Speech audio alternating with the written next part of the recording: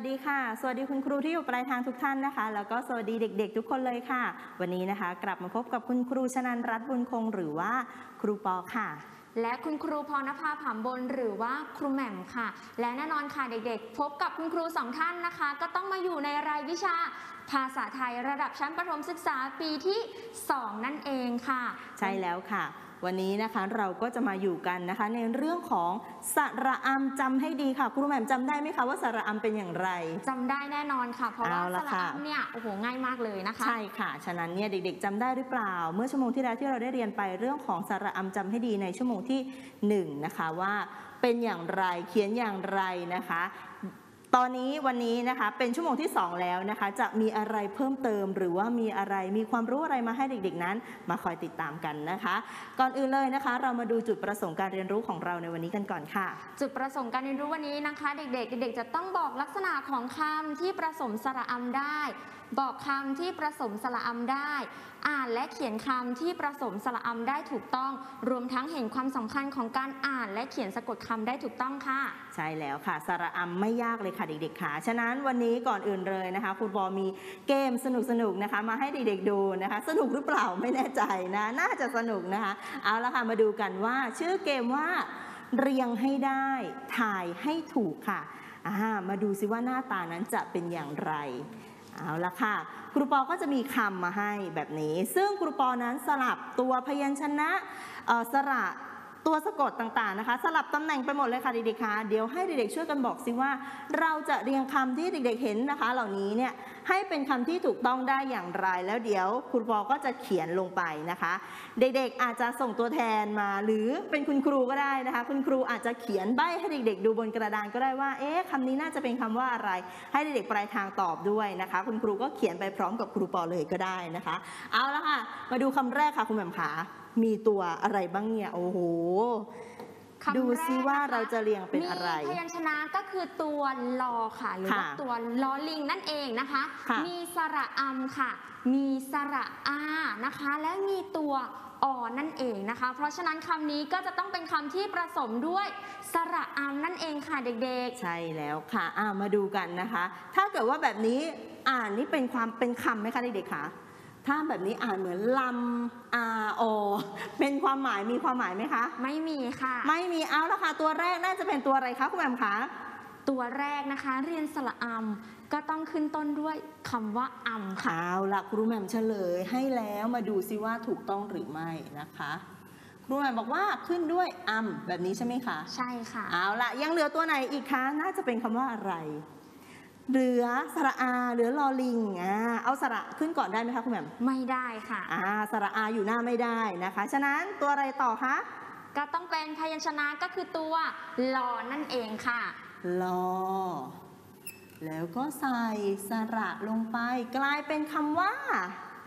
อัมลาได้ได้ออกเสียงค่ะอัมลาอัมลา เอาละค่ะ ต่อไปค่ะ ไม่รอช้าเลยนะคะคำที่สองค่ะ คำนี้ค่ะเด็กๆค่ะนะมีพยัญชนะมาให้สระเช่นเคยนะคะ โอ้เด็กๆบอกว่าขึ้นด้วยอัมแน่นอนถูกต้องไหมคะคุณแหม่มคะถูกต้องค่ะ เอาละฉะนั้นเดี๋ยวครูปอเขียนอัมไว้ก่อน เด็ก ๆ ดูซิว่าคำต่อไป พยัญชนะตัวต่อไป หรือสระตัวต่อไปจะเป็นอะไรอัมเรียบร้อยแล้วค่ะ ตัวต่อไปเหลืออะไรบ้างคะคุณแหม่มเหลือตัวพอสำเภาสระเออออ่าง อ่างอะไรขึ้นก่อนดีคะคุณแม่คะสระเอขึ้นก่อนเลยสค่ะระเอค่ะ ใช่แล้วค่ะ ตัวต่อไป ตัวต่อไปถ้าจะเอาตัวอขึ้นก่อนนะคะ ตัวพอเอ๊ะมันก็จะไม่มีความหมายนะคะค่ะ ณปอเพราะฉะนั้นคุณแหม่มขอเอาตัวพอหรือว่าพอสำเภาขึ้นก่อนค่ะ ได้เลยค่ะ ตามมาด้วยพอสำเภาและลงท้ายด้วยตัวอกลายเป็นคำว่า อำเภอเด็กๆออกเสียงค่ะอำเภอ อำเภอ เก่งมากๆเลยค่ะ ต่อไปค่ะไม่รอช้าคำต่อไป นี่ค่ะมาแล้วค่ะเด็กๆค่ะ โอ้โห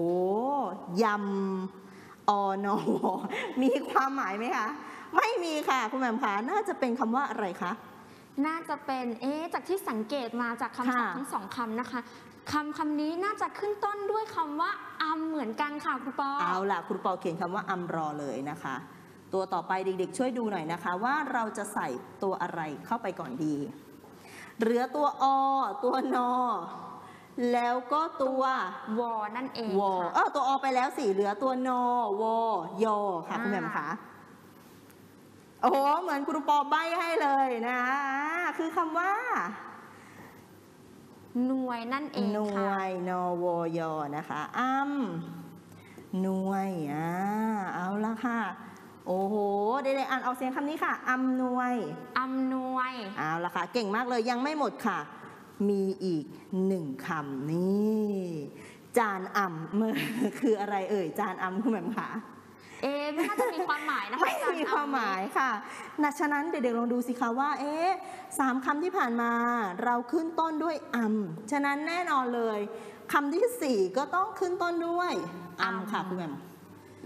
อำแล้วเรีก็ยบจะร้อยเหแล้วลือค่ะพยัญชนะนะคะค่ะก็คือตัวจอ ตุสระอา และตัวนอนนั่นเองค่ะ ค่ะ แต่ว่าอำจารมีความหมายไหมคะ ไม่ก็มีไม่ค่ะ มีความหมายนะคะ เพราะฉะนั้นเด็กๆ ลองสลับที่ระหว่างพยัญชนะต้นกับตัวสะกดสิคะ ค่ะเพราะว่าสระก็ต้องเป็นสระอาใช่ไหมคะใช่แล้ว เด็กๆ ลองสลับที่สิคะ ระหว่างตัวจอกับตัวนอถ้าสลับที่กันจะได้คำว่าอะไรคะ เอาละลองสลับที่นะคะ ตัวนี้เป็นตัวนอตามด้วยสระอาค่ะ แล้วก็ใส่ตัวจอคำนี้อ่านว่าอะไรคะ เก่งมากเลยอีกครั้งค่ะอำนาจ อำนาจ เอาละค่ะ เรียบร้อยแล้ว อันนี้ง่าย ๆ จิบจิบๆมาเด็กๆบอกว่าไม่ยาก ต่อไปค่ะครูแหม่มขาครูปอมีมาอีกค่ะ นี่เอาละหน้าตาเปลี่ยนไปแล้วค่ะ ครูแหม่มขาอำตัวนั้นหายไปแล้ว ทีนี้มาดูสระอาหายไปแล้วนะคะใช่แล้วค่ะ ทีนี้มาดูซิว่าคำที่ครูปอให้มานั้นนะคะ น่าจะเรียงตัวอะไรขึ้นก่อนหลังเอาละค่ะ คุณแหม่มลองดูคุณแหม่มลองดูสิคะว่าน่าจะเป็นตัวไหนก่อนคะ เอะคุณแบบว่าน่าจะเป็นตัว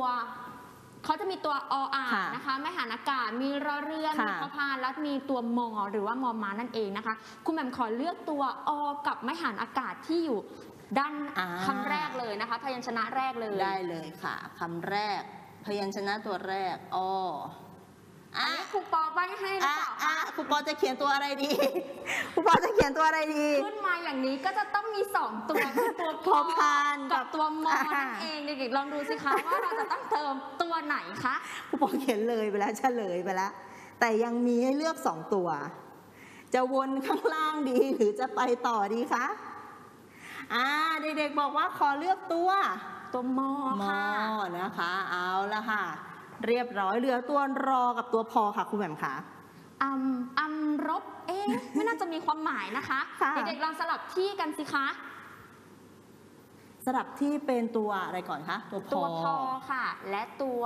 รอนั่นเองค่ะ โอ้โหคำนี้ก็จะอ่านว่าอัมพร อัมพร อ่าเดี๋ยวค่อยไปดูกันว่า เอ๊ะคำแต่ละคำนั้นนะคะ มันคืออะไรกันนะคะ ต่อไปนะคะคำต่อไปค่ะเด็กๆคะมีตัวมอตัววอตัวพอ ตัวอไม้หันอากาศหรือว่าไม้ผัดของเรานะคะ แล้วก็สระอานั่นเองนะคะ น่าจะเป็นคำว่าอะไรคะคุณแหม่มคะคุณแหม่มใบให้นะคะ ว่าเป็นอำเภออำเภอหนึ่งของจังหวัดสมุทรสงครามนั่นเองค่ะเอาเด็กๆล่ะจังหวัดสมุทรสงครามนะคะ ตอบได้อย่างแน่นอนค่ะ อำเภออะไรนะที่มีแม่น้ำมีกตลาดว้างน้ำๆมีมีตลาดน้ำตลาดน้ำด้วยนะคะอ่าเด็กๆบอกว่าโอ้โหขึ้นต้นด้วยคำว่าอะไรคะคุณแมมขึ้นต้นด้วยอัมค่ะอำเช่นเดียวกันเลยนะคะ เอาใหม่ครูปอเลือกใหม่ เป็นอำนะคะอำ ออะโมอามีใช่ไหมคะคุณแมมคะใช่ค่ะเอาละค่ะอำอะไรคะโอ้โหเด็กๆปลายทางได้ยินเสียงดังเลย โดยเฉพาะที่จังหวัดสมุทรสงครามบอกว่าอัมพวาค่ะคุณแม่มโอ้โห ในใครเคยไปเที่ยวตลาดน้ำอัมพวาบ้างอ่าโอ้โห เป็นบรรยากาศนะคะเอ่อนึกถึงสมัยก่อนนะคะ ที่แบบว่าเดินทางสัญจรไปมาทางเรือ โอ้โห นึกถึงสมัย เหมือนเราได้ย้อนไปในสมัยก่อนนะคะ กินอาหารก็กินบนเรือนะคะ ซื้อของบนเรืออะไรแบบนี้นะคะ สนุกสนานมากๆเลยนะคะ ใครที่มีโอกาสได้ไปนะคะ ลองไปดูนะคะ ต่อไปค่ะคุณแมมคะยังไม่หมดค่ะเหลืออีก 2 ข้อครูปอใบให้อ่าอันนี้เหมือนกันเลยนะคะ มีตัวอักษรมาให้เออตัวเพยญชนะนะคะมาให้ มีสระมามีให้สเหมือนระกันมาก็คือให้สระอา ตัวตอค่ะตัวมอ ตัวอไม้หันอากาศหรือว่าไม้ผัดนะคะ และค่ะตัวพอนั่นเองค่ะเด็กๆบอกว่าจับทางได้แล้วค่ะค่ะครูปอทุกคำเนี่ยในนี้นะคะก็จะขึ้นต้นด้วยออะอำมออัมค่ะ เอาล่ะนั้นครูปอเขียนอำไว้ก่อนเลยอ่าอำอะไรเรือตัวอะไรบ้างคะสระอาต่อเต่า พอพาน ใบให้ว่าเป็นลักษณะเอ่ออาการป่วยนะคะ อย่างหนึ่งนะคะ กระดิกไม่ได้เลยนะคะออ่าวัยวะกระดิกไม่ได้หรือเป็นว่าขอายัการบไม่ป่ได้วยที่กระดิกไม่ได้ ขยับไม่ได้ หรือว่าบางครั้งก็คือตายไปเลย เช่นแบบว่าขากระดิกไม่ได้ แขนกระดิกไม่ได้อย่างเงี้ยค่ะเป็นต้น โอ้โหเด็ก ๆ บอกว่าเคยรู้จักค่ะคุณพ่อคะคำว่าอัมพาตอ่าอัมพาตนะคะ ก็จะเขียนแบบนี้นะคะเอาละค่ะ เรียบร้อยแล้วและสุดท้ายแล้วค่ะเด็กๆคะ คำใบ้สุดท้ายนะคะ คือ โอ้โห มีตัวอักษรมีเเครื่องหมายนะคะมาด้วยนะนะคะ มาดูซิมีตัวอะไรบ้าง มีตัวพอนะคะ มีออ่างนะคะ ไม้หันอากาศ มีตัวสอนะคะ และสอการันนะคะ มีตัวกอมีตัวมอและตัว รึนั่นเองรึค่ะนั่นเองค่ะ ใช่แล้วค่ะ น่าจะเป็นคำว่าอะไรเด็กๆบอกว่าอำแน่นอนค่ะ ครูปอขาใช่แล้วค่ะเด็กๆเป็นคล้ายๆ กับข้อที่แล้วเลยค่ะเด็กๆค่ะเป็นเอ่อลักษณะอาการของการป่วยชนิดหนึ่งนะคะอันนี้แขนขาจะอ่อนแรงนะคะอ่อนแรคำนี้งอ่าจะอาการจะเบากว่าอัมพาตนะคะ เรียกว่า โอ้เด็กๆ มีความรู้รอบตัวมากๆเลย บอกว่าอัมพฤกษ์ขึ้นต้นด้วยตัวอะไรบ้างคะคุณแม่คะตัวพอค่ะ อ่า ตัวพอตามด้วยตัวตัวรอรึค่ะหรือนะคะ ตัวสะกดคือตัวตัวกอกค่ะและและมี ตามด้วยสอการันค่ะ เอาละตัวสอเป็นตัวการัน ซึ่งมีไม้ทันตคาตกำกับอยู่นั่นเองนะคะ เอาละค่ะเรียบร้อยแล้วค่ะเด็กๆค่ะทีนี้เด็กๆลองดูสิคะว่า จากคำที่เด็กๆได้เออ บอกใบ้หรือว่าได้เห็นนะคะคำศัพท์เหล่านี้เนี่ยมันจะมีคำที่ขึ้นต้นด้วยคำว่าอะไรบ้างนะคะอัมอ่าอัมซึ่งอัมแรกเขียนด้วยออัมอัมค่ะออัมอัมนะคะ ซึ่งมีตัวนี้ค่ะ ตัวเอ่อเขาเรียกว่าเป็นหยาดน้ำค้างของเราจำชื่อได้ไหมคะ ที่ครูปอเคยสอนไปแล้วในชั่วโมงต้นๆหยาดน้ำค้าง หรือว่านฤคหิตแล้วก็ตัว ลาคางผสมกันได้สระอัมนะคะ แบบนี้และอัมอีกหนึ่งอย่างเขียนอย่างไรนะคะคุณแหม่มคะเมื่อสักครู่นะคะ จากคำศัพท์ก็คือออะมออัมค่ะ แบบนี้นั่นเองนะคะ เขียนโดยใช้ไม้หันอากาศหรือไม้ผาดของเราแล้วก็มีตัวมอนะคะอยู่ด้านหลังนั่นเอง ฉะนั้นเนี่ยคำที่เราได้ไปนะคะ ในอำแรกมีคำว่าอำลาอำเภออำนวย และอำนาจนะคะ ส่วนคำที่เขียนด้วยอำนะคะ แบบนี้อ้ออะมออำแบบนี้ได้แก่อำพรอำภวาอัมพาตและอัมพฤกนั่นเองนะคะคำนี้นะคะให้เด็กๆออกเสียงนะคะ กระดกลิ้นด้วยตัวรึนะคะ อย่าลืมอัมพฤกษ์ เก่งมาก ๆ เลยนะคะ ฉะนั้นเนี่ยอันนี้คือเป็นแค่คำตัวอย่างเท่านั้นนะคะคุณแหม่มคะยังมีคำอีกมากมายเลยค่ะเด็กๆค่ะที่เขียนด้วยอัมแบบแรกกับอัมแบบที่สองนะคะอยากรู้หรือยังคะถ้าอยากรู้แล้วนะคะ เราไปดูคำเหล่านั้นกันเลยค่ะอัมแรกนะคะที่เขียนว่าที่เขียนด้วยนฤคหิตนะคะ หรือว่าหยาดน้ำค้างและลากค้างนะคะ ได้แก่คำว่า อำลาค่ะ เด็กๆออกเสียงตามคุณแหม่มสิคะอำลาอัมลา ซึ่งคำว่าอำลานะคะ หมายถึงลาจากไปค่ะคำว่าอำลานะคะ มักใช้ในกรณีพิเศษ ค่ะ เช่นอำลาตำแหน่งค่ะ ใช่แล้วค่ะ ต่อไปเลยค่ะคุณแหม่ม ต่อไปคำว่าอำเภอค่ะ เด็กๆออกเสียงตามคุณแหม่มสิคะอำเภอ อำเภอ ซึ่งอำเภอนะคะจะหมายถึงหน่วยปกครองนะคะ ที่รวมตำบลหลายตำบลนะคะ ให้อยู่ในความปกครองเดียวกันค่ะ และได้มีพระราชกิจสฎีกานะคะ จัดตั้งเป็นอำเภอ ซึ่งอำเภอเป็นหน่วยงานราชการบริหารรองจาก จังหวัดนั่นเองหน่วยย่อยของเขาก็คือตำบลค่ะนะคะใช่แล้วใหญ่ขึ้นมาหน่อยก็คืออำเภอและตามด้วยจังหวัดนะคะ เช่น หัวหินก็จะอาจเช่น จังหวัดประจวบคีรีขันธ์นะคะ ก็จะมีอำเภอหัวหินนั่นเองค่ะ หรือว่าจากที่ยกตัวอย่างไปเมื่อสักครู่นี้นะคะ ก็คืออำเภออัมพวานั่นเอง ในจังหวัดสมุทรสงครามค่ะ เก่งมากค่ะ ต่อไปเลยค่ะเด็กต่อไปนะคะคำว่าอำนวยค่ะๆเด็กๆออกเสียงตามคุณแหม่มนะคะ อำนวย อำนวย ซึ่งอำนวยนะคะหมายถึงคำว่าอ่ามีความหมายว่าให้ค่ะแผลงมาจากคำว่าอวยนะคะ ในภาษาเขมรนั่นเองค่ะ โอ้โห มีภาษาอื่นเข้ามาด้วยนะคะ ฉะนั้นเด็กๆ ตั้งใจดูให้ดีๆเลยนะคะ ต่อไปค่ะ ต่อไปนะคะคำว่าอำนาจ อำนาจ อำนาจ อำนาจ อำนาจนะคะจะหมายถึงสิทธิ เช่น มอบอำนาจ ซึ่งอำนาจนี้นะคะ จะมีความหมายที่โอ้โหหลากหลายเลยค่ะ เช่นค่ะการดลบันดาลนะคะ ให้เกิดสิ่งใดสิ่งหนึ่งนะคะ เขามักจะใช้ในการอวยพรผู้ใหญ่ค่ะ เช่น ขออำนาจคุณพระศรีรัตนตรัยนะคะ คุ้มครองให้คุณพ่อคุณแม่มีแต่ความสุขนั่นเองค่ะใช่แล้วค่ะ ซึ่งความหมายที่นำมาให้เนี่ยเอ่อส่วนใหญ่จะเป็นความหมายแรกนะคะของคำศัพท์นั้นๆ ซึ่งเอ่อในแต่ละคำก็จะมีความหมายที่รองลงมาอีกคำความหมายที่ 2 ความหมายที่ 3 หรือ 4 นะคะ ซึ่งเด็กๆสามารถค้นหาได้ในพจนานุกรมนั่นเองค่ะ ต่อไปค่ะคำว่าอำแดงค่ะอำแดง เด็กๆปลายทางนะคะ เคยได้ยินคำนี้ไหมคะ เคยดู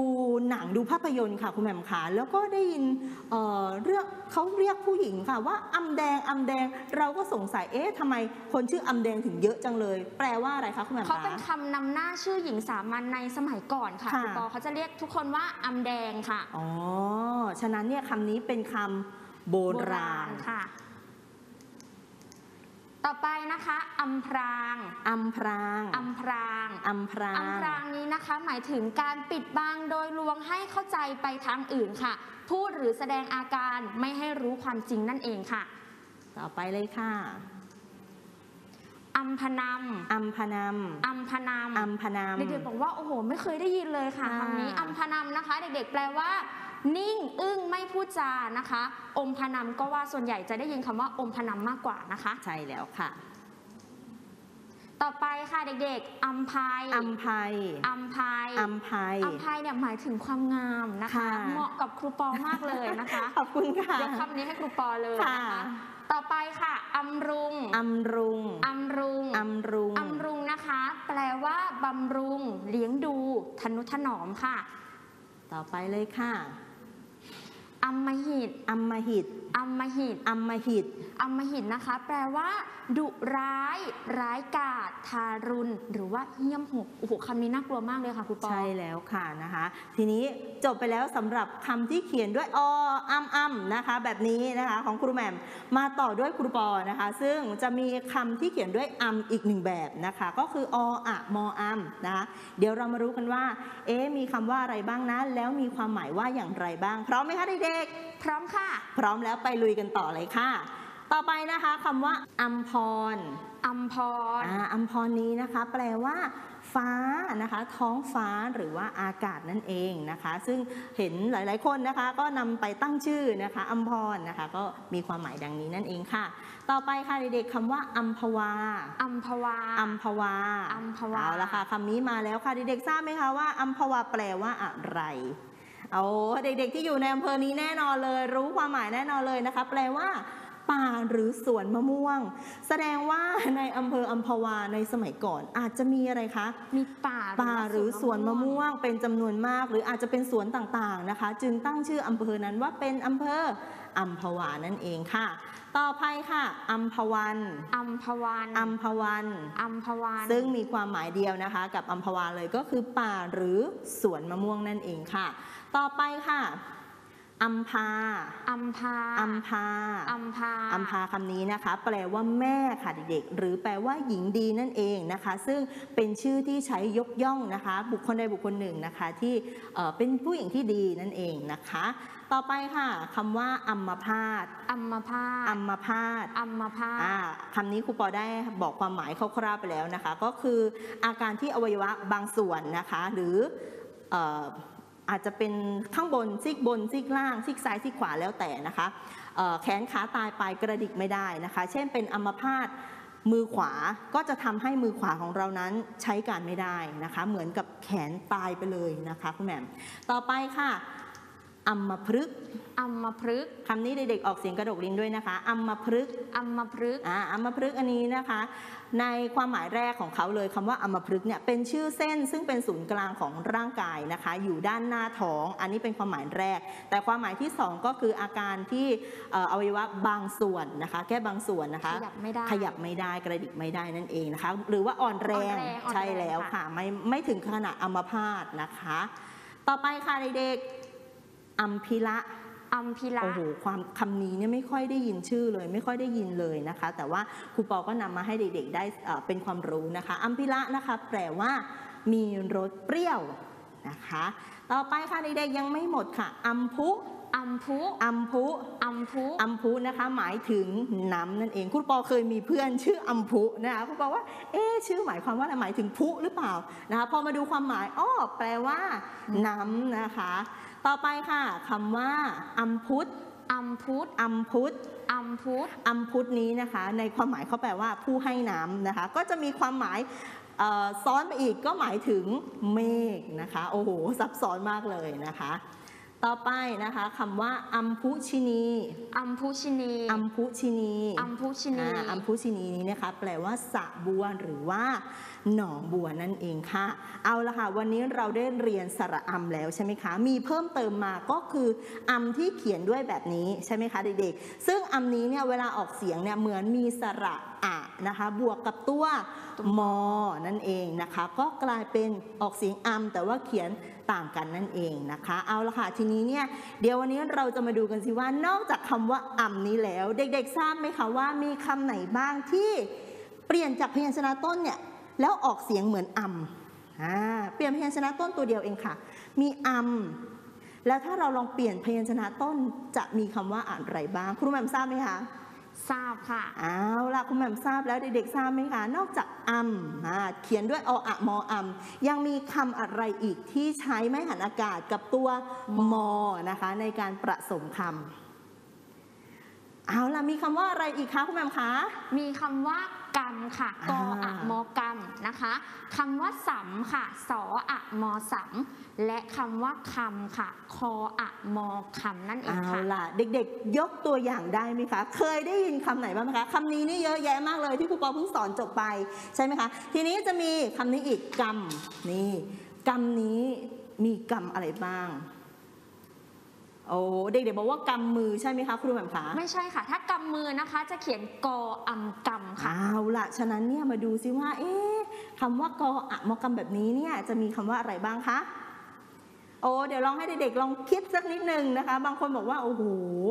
หายากมากๆเลยค่ะคุณแหม่มคะนะคะ แต่บางคนบอกว่า เอ๊ะเคยคุ้นๆนะคะ เคยเห็นอยู่บ้างนะคะ หรือคำว่าสัมอ่าคำว่ากรรมอาจจะยังนึกไม่ออกค่ะคุณแหม่มคะ คำว่าสัมนี่จะเยอะหน่อยอ่ามีคำว่าสัมอะไรบ้างคะ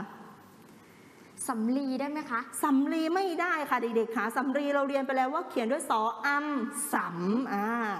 ถ้าสออะมอสำแบบนี้นะคะ โอ้เอาละเดี๋ยวเรามาดูกันนะครูปอมีตัวอย่างนะคะคำอ่ามีคำว่าอะไรบ้าง โอ้เด็กๆบอกว่า เอ๊ะนึกถึงคัมภีร์เลยค่ะคุณแหม่มขาโอ้เก่งมากๆเลยนะคะ ฉะนั้นเดี๋ยวครูปอจะยกตัวอย่างนะคะคำที่อ่าเขียนด้วยกรรมสำคำนะคะ นี่เป็นแบบนี้นะคะกรรมแรกคำว่ากรรมอะไรคะคุณแหม่มคะกำพลค่ะอ่าคำว่ากรรมพลเด็กๆดูนะคะเวลาวิวิเอ่อเวลาเขียนก็อะมอกรรม แล้วก็ต่อด้วยคำว่าพลกรรมพลแบบนี้ แปลว่า ผ้าที่ทอด้วยขนสัตว์อ่าเรียกว่ากรรมพลนะคะ ต่อไปค่ะคุณแหม่มคำว่ากำปนาตค่ะกรรมปนาตอ่าคุณแหม่มเคยได้ยินคำนี้ไหมคะ เคยได้ยินค่ะครูปอโอ้แปลว่า กะอะเสียงที่ดังดังสนั่นหวันไหวนั่นเองค่ะ ใช่แล้วค่ะกรรมปนาตโอ้โหเด็กๆบอกว่าครูปอคะทำไมครูปอยกตัวอย่างคำยากจังเลย มันมีคำง่าย ๆ แต่อยู่ในแบบฝึกหัด เดี๋ยวจะให้เด็กๆได้ลองทำถ้าครูปอนำมาเฉลยก่อน เดี๋ยวเด็ก ๆ จะตอบได้นะคะ เอาละค่ะต่อไปค่ะคำว่าสัมนะคะ มีคำว่าอะไรครับแมมสัมมนาค่ะคำว่าสัมมนาเด็กๆเคยได้ยินคำนี้บ่อยไหมคะ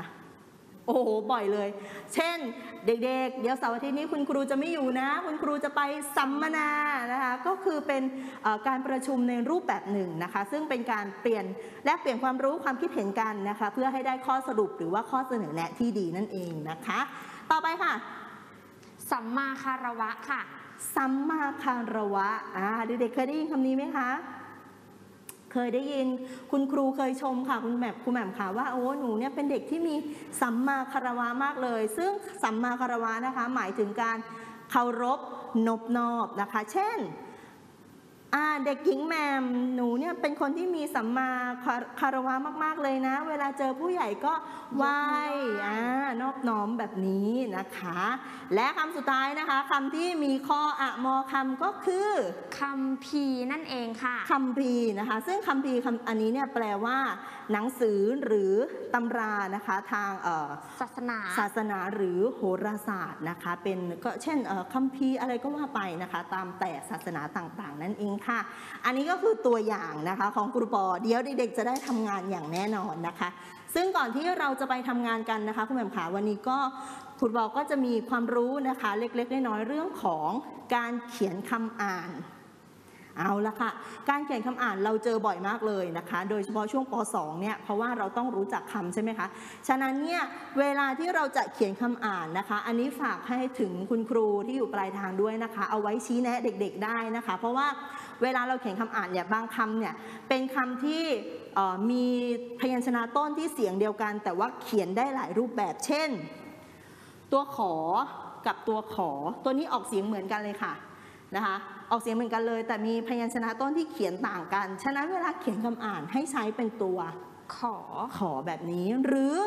ตัวคอมี 3 คอเลยค่ะ คอควาย คอคนคอระฆัง เวลาที่เรานำมาเขียนคำอ่านนะคะ เราต้องใช้ตัวคอนะคะ แบบนี้นะคะ ตัวชอชอช้างชอเชอร์นะคะคำอ่าน เวลาที่เขียนก็จะเป็นตัวชอนะคะ ตัวทอรอตัวนี้อ่าครูแหม่มสอนไปแล้วนะคะ เวลาเขียนคำอ่านต้องเปลี่ยนเป็นตัวซอซอนั่นเองนะคะ ส่วนตัวย่อนะคะมี 2ยอเห็นไหมคะ เวลาเขียนคำอ่านก็เป็นตัวยออันนี้เอ่อต้องใช้หลักการจำนิดนึงนะคะ แต่ไม่ยากจนเกินไปนะคะ ต่อไปตัวดอที่ออกเสียงดอมีดอชดาดอเด็ก แล้วก็ตัวนี้คือทอมอนโทใช่ไหมคะ แต่เวลาที่บางคำที่ว่าเวลาไปผสมคำเช่นคำว่าบัณฑิต จะใช้เป็นอ่าเวลาเขียนคำอ่านเราต้องเขียนว่าดออีดอดิด ฉะนั้นคำที่เขียนก็ต้องเป็นตัวดดออพยัญชนะที่เขียนลงไปเห็นไหมคะ ไม่ยากเลยนะคะ ส่วนตัวตอมีสองตอค่ะตอประตักตอเต่า เวลาเขียนคำอ่านต้องเป็นตอเต่าแบบนี้นะคะ เอาละ ส่วนตัวที่เป็นอะสมมุติว่ามันเป็นตัวพยัญชนะตัวกออยู่แล้ว มีเสียงเดียว ก็ให้เขียนตัวกอไปเลย อันนี้ไม่ยาก แต่อันนี้คือนำมาให้ดูเฉพาะตัวที่เขียนได้หลายแบบ แต่มีเสียงเหมือนกันนะคะ อันนี้เหมือนกันค่ะตัวถอนะคะ เวลาเขียนก็จะต้องเป็นตัวขอทอถุงนะคะ เวลาเขียนคำอ่าน ตัวทอนะคะนี่มีตัวทอตัวนี้นะคะทอมันโททอผู้เท่าทอทหารทอทงนะคะ เวลาเขียนต้องเป็นตัว ทอทหารนะคะเเช่นคำว่าอะไรดี เช่นคำว่าธงอะสมมุติว่าคำว่าธงทออกงอธงเวลาเขียนคำอ่านเด็กๆต้องเขียนว่าทอทหารแล้วก็ตัวงองูแบบนี้เข้าใจไหมคะเอาล่ะไม่ยากเลย ตัวนอค่ะ เหมือนกันเลยมีสองนอ เวลาเขียนคำอ่านต้องเป็นตัวนอตัวเดียวเท่านั้นนะคะ ตัวพอค่ะ พอพานพอสำเภาเวลาเขียนคำอ่านเหมือนกันต้องเป็นตัวพอนะคะ ตัวรอมีรอลิงกับรอจุฬานะคะ ออกเสียงรอเหมือนกัน เวลาเขียนคำอ่านต้องเป็นตัวลอลิงนะคะ และตัวสอนะคะสามสอตัวนี้แล้วก็ตัวสอรอตัวนี้ที่อยู่ในคำควบกล้ำไม่แท้นะคะ เวลาเขียนก็ต้องเป็นตัวสอเสือนั่นเองนะคะ ส่วนอีกอวิธีการหนึ่งก็คือเรื่องของตัวสะกดนะคะ ตัวสะกดในมาตราต่างๆ อันนี้คือตัวสะกดในมาตรา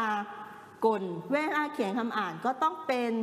ตัวนตัอวนอใช่ไหมคะ เช่นคำว่าอะไรดีครับแหม่มเช่นคำว่า หารหาอ่านค่ะ หอหออานรอหาร เวลาเขียนคำอ่านอ่านว่า หออานอหารเห็นไหมคะอ่าอันนี้แหละคือหลักการเขียนคำอ่านนะคะ เหมือนกันค่ะ ตัวนี้สามตัวนี้อยู่ในมาตรากก เวลาเขียนคำอ่านนะคะ ตัวสะกดก็ต้องเป็นตัวกอกอนะคะ ตัวนี้นะคะเหล่านี้เหล่านี้เหล่านี้เยอะมากๆเลย อยู่ในมาตรากฎเวลาเขียนคำอ่านตัวสะกดของเขา จะต้องเปลี่ยนทั้งหมดให้เป็นตัวดอนะคะ และสุดท้ายเลยนะคะตัว 4 ตัว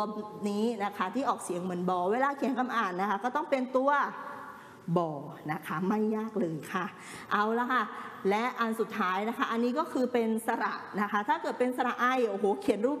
หลากหลายมากเลยมีสระไอไม้มาลายไม้ม้วน เขียนด้วยไอแบบนี้ เขียนด้วยไอแบบนี้นะคะ จะต้องเป็นสระไอแบบนี้นะคะ และสุดท้ายเลยนะคะอัมที่เรากำลังเรียนกันอยู่นี่เลยนะคะอันนี้คือเดี๋ยวเราจะได้เรียนกันต่อไปนะคะ ส่วนตัวนี้นะคะออามออามเวลาเขียนก็ต้องเป็นออัมอัมแบบนี้ต้องเป็นรูปแบบนี้ นะคะสำหรับกิจกรรมของเราในวันนี้มีอะไรบ้างคะ กิจกรรมของเด็กๆปลายทางในวันนี้นะคะ คือใบงานที่ 2 เขียนคำอ่านที่ใช้อำค่ะ และใบงานที่ 3 นะคะ เติมคำที่ใช้อำนั่นเองค่ะ ซึ่งหน้าตาของใบงานที่ 2 นะคะ มีคำมาให้และความหมายมาให้ค่ะค่ะเด็กๆก็จะต้องนำความรู้นะคะ จากที่ครูปอสอนไปเมื่อสักครู่นี้นะคะ มาเขียนคำอ่านทางตารางด้านขวานั่นเองค่ะ ส่วนใบงานที่ 3 นะคะ เติมคำที่ใช้อำค่ะ มีคำมาให้ก็คือคำว่าอำกรรมสัมและคำว่าคำนั่นเองค่ะ เด็กๆก็จะต้องนำเลือกคำสี่คำนี้นะคะ มาเติมในช่องว่างให้ถูกต้องและมีความหมายนั่นเองค่ะ เอาละค่ะ ถ้าพร้อมแล้ว ไปลุยกันเลยค่ะ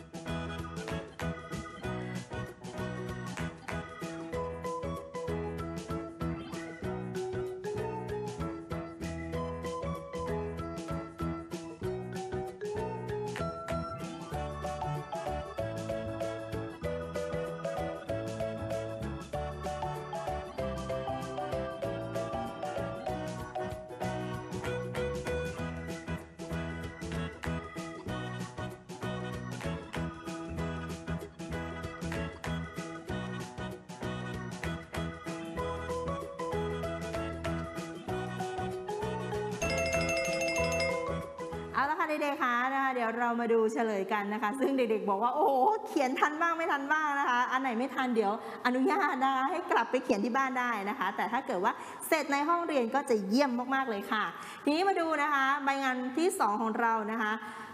เฉลยของเราก็คืออะไรคะอัมพรเวลาเขียนก็คือออัมอัมพออนอพรแบบนี้ใช่ไหมคะที่เด็กเอาละใครเขียนถูกต้องนะคะ เก่งมากๆเลย อัมพวาค่ะ อัมพะวาแบบนี้นะคะเด็กๆคะทีนี้นิดนึงเวลาที่เราเขียนตัวขีดสั้นหรือว่ายัตติพังนะคะ เว้นช่องไฟไม่ต้องมากนะคะ เอาแค่นิดเดียวพอแบบคุณปอแบบนี้นะคะเอาละค่ะต่อไปค่ะอัมพวันอัมพะวันแบบนี้นะคะ ไม่ยากเลยค่ะ ต่อไปค่ะอัมพา อ่าอัมพาเราเขียนด้วยออะมออัมใช่ไหมคะ แต่เวลาเวลาเราเขียนคำอ่านแน่นอนต้องใส่อัมแบบนี้ แล้วก็พออาพาไม่ยากนะคะ ต่อไปค่ะ อัมมาพาดอัมมะพาดเห็นไหมคะ ตัวสุดท้ายตัวสะกดคำว่าอัมพาดคือตัวตออยู่ในแม่กด ฉะนั้นเวลาเขียนคำอ่านนะคะ ต้องเขียนเป็นตัวดตัวอดอแบบนี้ค่ะ และอัมมาพฤกษ์นะคะอัมมะพฤกษ์เวลาเขียนคำว่าพฤกษ์ต้องมีตัว รออยู่ด้วยนะคะ เพราะว่าเราเอ่อกระดกลิ้นตัวที่เป็นตัวรึนะคะอัมมาพฤกต้องเขียนแบบนี้นะคะ ต่อไปค่ะคำว่าอัมพิละอัมพิละตรงตัวเลยนะคะ แต่ว่าเปลี่ยนคำว่าอัมให้เป็นออัมอัมแบบนี้ และอัมพุนะคะเหมือนกันเลยนะคะ ไม่ยากเลยนะคะต่อไปอีกสองข้อนะคะอัมพุทธ ตัวสะกดคือตัวทอทหาร แต่เวลาเขียนคำอ่านต้องเป็นตัว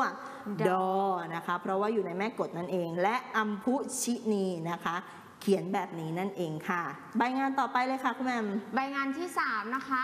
เด็กๆ ลองมาดูว่าเด็กๆ เนี่ยเลือกคำทั้ง 4คำอำทั้ง 4คำเนี่ยค่ะ มาเติมในช่องว่างได้ถูกต้องและคำคำนั้นมีความหมายหรือไม่นะคะ มาดูที่คำแรกเลยค่ะ เด็กๆเขามีคำมาให้คือมันตรังสี เด็กๆ จะต้องเติมคำว่า กรรมนั่นเองนะคะ ในคำว่ากรรมมันตรังสีนั่นเองค่ะ ต่อไปเอ๊ะคุ้นๆเลยค่ะพีนี้ก็ต้องเติมคำว่า คำนะคะ เป็นคำว่าคำพีร์ค่ะ ต่อไปนะคะ พรก็ต้องเติมคำว่าอัมนะคะ เป็นคำว่าอัมพรนะคะพเวสี เอ๊ะ อะไรพเวสีคะ เด็กๆ เคยดูคุณเจนยานทิพย์ไหมคะ คุณเจนยานทิพย์เขาก็จะเจอสัมภเวสีนั่นเองค่ะ ต่อไปนะคะ ภาระอะไรเอ่ยภาระ ก็คือสัมภาระนั่นเองค่ะ ต่อไปฤทธิ์ ฤทธิ์นี้นะคะ ต้องเติมคำว่าสัมนั่นเองอะค่ะในคำว่าสัมฤทธิ์ต่อไปภูชาคำนี้นะคะ เป็นประเทศเพื่อนบ้านของเราใช่นั่นแล้วเองค่ะนะคะเด็กๆเด็กๆก็จะต้องเติมคำว่ากรรมนะคะ เป็นคำว่ากัมพูชานั่นเองค่ะ ต่อไปนะคะมีคำว่าพาให้ค่ะ เอ๊ะเด็กๆเติมคำว่าอะไรคะอัมพานั่นเองค่ะ ต่อไปนะคะพาด พาดนะคะคำนี้เป็นคำว่าสัมภาษณ์นั่นเองค่ะ ต่อไปมีคำว่าพลพลให้นะคะ เด็กๆจะต้องเติมคำว่ากรรมนะคะเป็นคำว่ากรรมพลนั่นเองค่ะ ต่อไปผัดอะไรคะโอ้โหง่ายมากเลยคำนี้ค่ะ ก็คือสัมผัสนั่นเองค่ะ และสุดท้ายนะคะพาดค่ะก็คืออัมพาตนั่นเองค่ะ เอาละค่ะ เรียบร้อยแล้วนะคะ ทีนี้เนี่ยในบทเรียนของเราในวันนี้นะคะ ก็เป็นเรื่องเกี่ยวกับ อ่าคำที่เขียนด้วยอัมนะคะหรือว่าสระอัมของเรานั่นเองนะคะ ซึ่งในชั้นสายชั้นประมาณป .2 ป .1 ป .2 เนี่ยก็จะได้เรียนคำที่เขียนด้วยอัมเนี่ยก็จะมี 2 แบบก็คือออัมอัมแบบนี้แล้วก็เขียนเหมือนออะมอ อัมนะคะก็จะมีอันนี้เป็นพื้นฐานก่อนนะคะของคำที่เขียนด้วยอัมนะคะ เดี๋ยวในระดับชั้นต่อๆไปเด็กๆก็จะได้เรียนรู้คำที่มันมีการพัฒนาอะไรมากมายนะคะ ต่อจากนี้อีกนะคะ ทีนี้ยังไม่หมดวันนี้สรุปบทเรียนของเรานะคะมีเกมให้เด็กๆเล่นว่าอัมหรืออัมจำให้ดีนะคะก่อนหมดชั่วโมงกันไปนะคะมาทดสอบกันนิดนึงครูปอมีเขียนคำอ่านมาให้นะคะคำแรกนะคะมาดูคำว่าอัมลา ควรใช้อัมไหนดีคะเด็กๆ อัมหนึ่งหรือสองเอาสีอะไรดีกว่าให้เลือกสีดีกว่า สีส้มหรือสีฟ้าคะสีส้มส้มค่ะนั่นเองค่ะ ต่อไปค่ะอัมพรค่ะคุณแหม่มอัมพรใช้อัมไหนดีคะคุณแม่ขอเลือกสีฟ้าค่ะ เก่งมากเลยค่ะ ต่อไปค่ะอำนาจค่ะอำนาจ ส้มหรือฟ้าดีคะสีส้มส้มนะคะค่ะเก่งมาก และอัมพาค่ะเด็ก เก่งมาก ๆ เลยค่ะ สีฟ้าฟานะคะอัมพานี้ต่อไปเลยค่ะ ยังไม่หมดค่ะอีกหนึ่งหน้าค่ะ อัมพุค่ะ อัมพุสีอะไรดี สีฟ้านะคะ อัมแบบนี้นะคะ อัมไพค่ะ โอ้เด็กๆบอกว่าแน่นอนสีส้มค่ะ แบบนี้เลยนะคะอำเภออ่า